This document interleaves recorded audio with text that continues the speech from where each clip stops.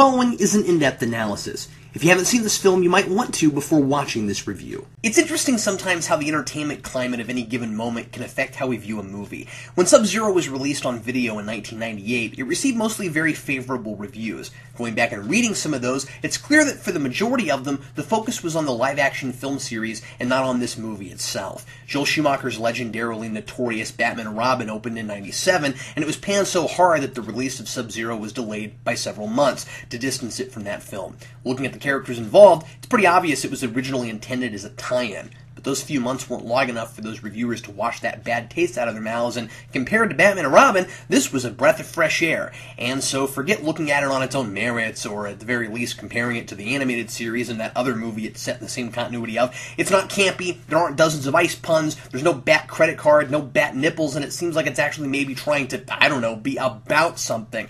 And so, this movie feels nearly like a masterpiece. I also get the sense that this being a direct-to-video feature in newspaper magazine critics were paid to watch whatever was new on video, many of them probably weren't familiar with the series, and for someone seeing this animation for the first time, I can see why that might be enough to carry a pretty mediocre story. Plus, the animation isn't just top notch as usual, but Bruce Timm's team is trying some new tricks, playing with mixing traditional and computer animation, a lot of which felt more detailed and better integrated to me here than it even did in Batman Under the Red Hood. And it does a great job of providing the illusion of live action cinematography with a lot of three dimensional depth, like in the Powerpuff Girls movie, only more sophisticated, and a lot of soft focus, which I can't recall seeing very often in the show. This thing treats itself like a huge production, and yes, it's more compelling and can be taken more seriously than Batman Batman and Robin. I almost could say that about Catwoman, and I still can't decide which of those is the worst movie.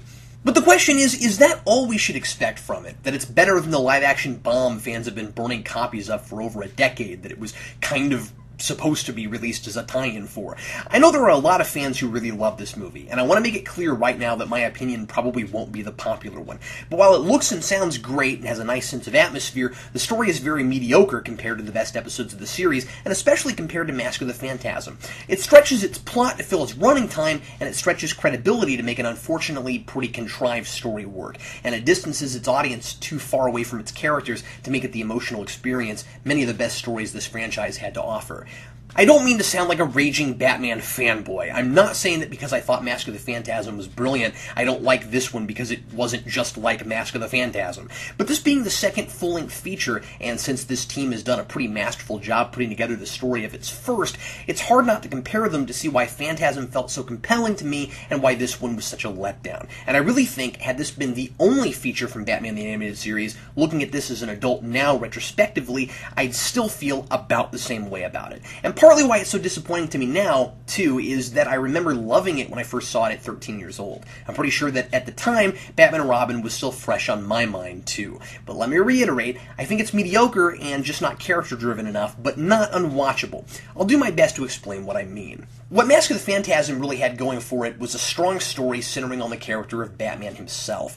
We get into the protagonist's head, we get a good character study, we see him develop and grow over the course of the story. There are opportunities for change, basic, necessary story stuff. That's two big strikes against Sub Zero for me right out the gate. The movie is centered around Mr. Freeze, and you might argue that he's the main character of the piece. He makes the most crucial choices, and all the emotional weight is on his shoulders. But is he really the protagonist? This more or less unfolds like a traditional superhero story, after all, and while he has real legitimate reasons for the bad things he does, he's still clearly the air quotes bad guy, and Batman, Robin, and Batgirl are clearly the good guys. I won't say that if the movie had been entirely from his perspective, where we followed him almost exclusively, and the heroes were mostly in the background, made it clearly his story over anyone else's, that he couldn't have been made into the protagonist. After all, there are certainly episodes of the series that focus almost entirely on the villain, and he or she has a real character arc, despite being the bad guy. I'm thinking of shows like Harley and Ivy and Double Talk from the new Batman Adventures. But I just don't quite see that here. I get that idea set up in Heart of Ice that Freeze has become as cold on the inside as he is on the outside, so he's going to be cut off from the rest of the world, and it's understandable that we wouldn't necessarily get real far inside his exterior. I get why you wouldn't necessarily do a story that gets really deep into his head, although I think a little of that would have gone a long way to bringing him toward more of an arc, if this is supposed to be his story, and letting us know why his wife means so much to him perhaps even some well integrated flashbacks to flesh out his character for us. He kidnaps Barbara Gordon because she has Nora Fries's extremely rare blood type, and Nora needs an organ transplant after a submarine coming up under Freeze's Arctic hideaway ruptured her stasis chamber. And there are apparently no dead donors, so he doesn't hesitate to go after a live one. At the end, Batman and Robin find Freeze before his doctor can perform the operation. The idiot doctor makes a dumb move and catches the oil refinery on fire with misplaced gunfire, and Mr. Freeze very briefly teams up with Batman and Robin to help get them all to safety. Mr. Freeze gets injured, Batman tries to help him, and ultimately loses him over a railing trying to rescue him. But he manages to survive to find that Batman got his wife to safety, and Wayne Enterprises is funding the organ donation that saves Nora's life, and it seems she's revived and going to live normally. So there are a lot of emotional things here for Victor Fries, but I don't see really a character arc or anything new for the audience that we don't already know about him if we've seen his previous episodes. He's never brought to a place where he has to question his morally reprehensible actions. He's always fine with the idea of killing a girl to save his wife. There are really no consequences to his actions, save a broken leg, and I guess the knowledge that he won't be with his newly revived wife. But that's just not good enough for me. I do really like the ending. It's touching to see Victor happy, knowing his wife is finally okay, and the ice cast is a great touch. But if the story is about him, I want to know what he takes away from all this. Batman proves great compassion and regard for life by helping his wife despite the horrible things Freeze has done. Though, since Freeze doesn't know Bruce Wayne is Batman, he actually doesn't even know the full extent of it and might still be giving himself more credit for saving Nora than he's giving Batman. His horrific plans still lead to his ultimate goal. Nora wasn't saved the way he'd planned, but his actions led to her being saved nevertheless. I wonder if he even has any problem with anything he did, or if this just further justifies his actions because it actually worked. Now, I could make a leap and say that his moment of change is realizing that all he had to do was go to Batman for help in the first place, and that that proves to him the world isn't necessarily the cold and heartless place he's come to know it as. But again, we don't get any of that, and so it's hard for me to call his story a character arc. All the notes that are hit about his character, as fascinating as they might be, are all in Heart of Ice. There's really nothing new here, save the conclusion of the story about his wife, and Heart of Ice explored the character in less than half the time. With his little Arctic friend he keeps around, Kunac, the movie tries to gain a little more sympathy for Freeze than he's had in the past, but this relationship isn't developed and seems kind of lazy to me. You can't just have a child tag along with the villain and say that makes him more likable without doing a little work to make that relationship credible. I feel like this script kind of understands why so many stories in Batman the Animated Series work it's trying to turn that into a formula. And it thinks that by following that formula, it'll gain sympathy for its characters and create a compelling story. So it gives us a villain who's not just evil for the sake of being evil. It gives Batman some compassion for the villain. It gives Barbara some compassion for the villain. It has Dick Grayson desperately trying to save the woman he loves, and it ends with the villain, in a way, winning in the end because what he really wanted wasn't so unreasonable. It's great on paper, but the execution is off. I feel very distanced from these characters. There's a whole lot of action and not nearly enough spoken exchanges. The best scene in the whole movie is the long chase where Dick tries to rescue Barbara. You can see all the pain he goes through during that chase, how hard he's trying, how badly he feels when he fails. But it's not personal enough between him and Batman. I mean, how does Batman feel about Barbara being kidnapped? He seems to be going through the motions like it's business as usual. And I get it. He's Batman. He doesn't talk very much about his feelings, and he doesn't buckle under pressure. But this is the girl Dick seems to be in love with. Where's that scene where Batman insists on doing it alone because Robin's too close to the situation? Or why isn't that at least addressed? If Batman doesn't say that in a situation like this, shouldn't Robin be surprised? And if you hadn't seen the show, you wouldn't even know at this point if Batman and Robin even know Barbara Gordon is Batgirl. There seems to be a lot of emotional weight in the action, but because the story isn't doing enough to make these characters come alive, I really have a hard time caring about it. This could very easily have been a story about Dick and Barbara, how much they care about each other, how difficult their relationship can be, both being crime fighters, but as desperate as he is to get her back during that chase scene, there's no payoff at the end when he finally gets her back. And Barbara, though certainly proactive and constantly trying to get away from Mr. Freeze, is pretty much the token damsel in distress here. I suppose in the moment her situation is pretty terrifying, and I like that Freeze tries to make her think that she's there to give a blood transfusion, and she doesn't discover it's actually an operation that'll kill her until Dr. Belson finally tells her he's going to put her under.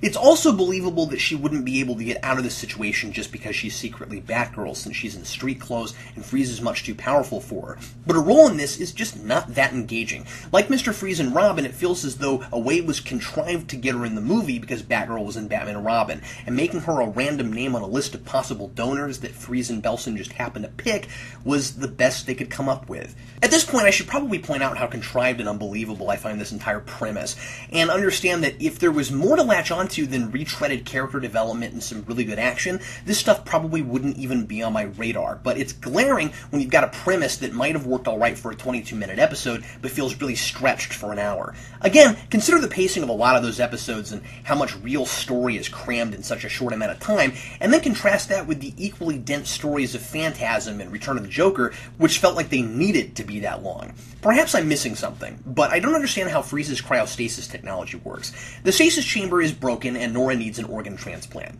can maybe understand if, for some reason, she needed that to stay alive in stasis, where she could only be out of the chamber for so long before her body gave up, but without the transplant, she'd die even in stasis. Maybe the rupture damaged her internally or something. But if getting that transplant would not only keep her alive, but would also revive her and allow her to lead a normal life, why was she in stasis in the first place? Couldn't she have just had the transplant and be done with it? I realize that Freeze is only just now realizing she needs the transplant, but I don't understand how this Dr. Belson figured it out so quickly, and in all this time, Freeze never did. I thought the idea was that she had some debilitating illness there was just no cure for.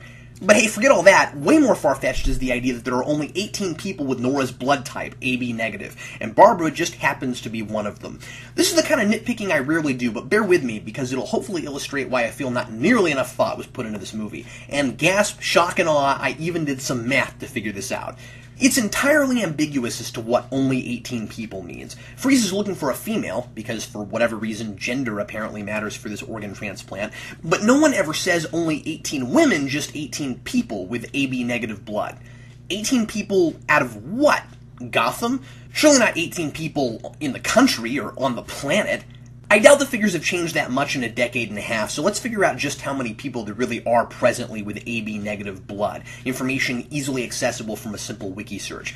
In the United States, only 0.6%. Well, that's certainly very rare, but that doesn't sound like only 18 people rare. Rounded up, that's about 1,800,000 people in the US. Well, at least there's an 18 in there somewhere. But again, I'm assuming we're just talking about Gotham. So now let's choose a real city that's pretty comparable in size to Gotham. Well, Christopher Nolan used Chicago as Gotham in The Dark Knight, and I guess Gotham's not as big as New York. That's more like Metropolis. So let's use the population of Chicago. I don't know exactly which states have more AB negative people than others, so for the sake of argument, we'll use the same 0.6% figure for Chicago, which has about 2,695,000 citizens. So that would put about 16,170 AB negative people in Gotham City.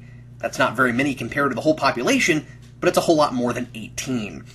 So even if the list is just organ donors in Gotham, heck, even if it's just people who have been admitted to that hospital, and even if both Freeze and Batman are just looking at the women on the list, even though Batman never says that, that number is still ridiculous. So why in Batman continuity does AB negative blood seem to be one of the rarest natural commodities in the world?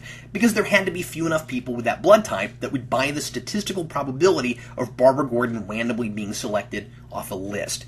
But even if that figure wasn't so hilariously made up, it's still a pretty contrived way to get her into this plot, and surely a better and more personal reason could have been dreamed up, something to tie all four of these people together in a more compelling way than Barbara's here because she has rare blood, Dick's here because he's dating Barbara, Batman's here because he's with Robin and his name's in the title, and Mr. Freeze is here because he's the big villain of the summer and because he provides a lot of visual atmosphere to the movie. It doesn't feel smart enough being a movie in a series that's often about detective work generally grounded in the physics of the real world. I don't have a problem with our heroes not being in costume most of the movie, as it makes the animation more impressive because more of the face has to be shown and it's harder to make those expressions believable without something covering them. It gives the world some credibility to have stories where the characters aren't always in costume. Realistically, sometimes maybe they wouldn't be but it risks coming off as dull and kind of lame when it doesn't have the script to back all that up. I don't like the token Batman and Robin versus a jewel thief fight and then a Batgirl versus some random thugs fight right at the beginning, all of which aren't tied into the main narrative at all, just there to remind us we're watching a Batman movie. I also don't like that it's halfway through the movie before Batman is even involved with or knows what the main conflict is. He gets very little to do, and it's a wonder Robin or Batgirl didn't get their names in the title. I think at least Mr. Freeze should have gotten top billing over Batman. It's definitely definitely got its moments. As I said, the action's awesome, the animation often breathtaking, and it has a definite strong ambiance, especially during the Arctic sequences.